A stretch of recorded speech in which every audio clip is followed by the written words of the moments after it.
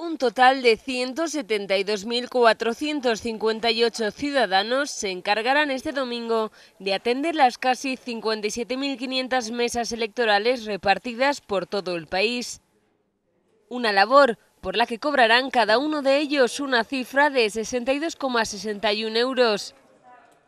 Los ciudadanos trabajan para tener todo listo para el 20D y es que se espera un alto porcentaje de participación. Pues eh, creemos que altísimo. Eh, Madrid siempre, de todas maneras, en todas las elecciones generales se destaca porque suele ser un 5% superior a la media nacional. Entonces creemos que va a ser casi el 80%. La principal novedad de este año.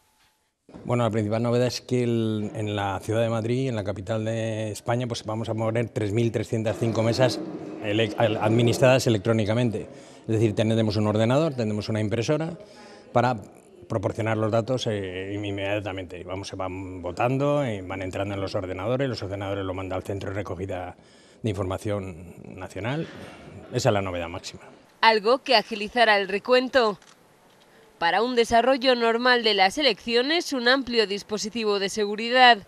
En cuanto al dispositivo de seguridad, mañana garantizarán el normal desarrollo electoral 91.702 agentes de las fuerzas y cuerpos de seguridad, entre ellos 28.803 policías nacionales, 44.221 guardias civiles, así como miembros de las policías autonómicas y más de 13.000 policías municipales, junto a efectivos de protección civil.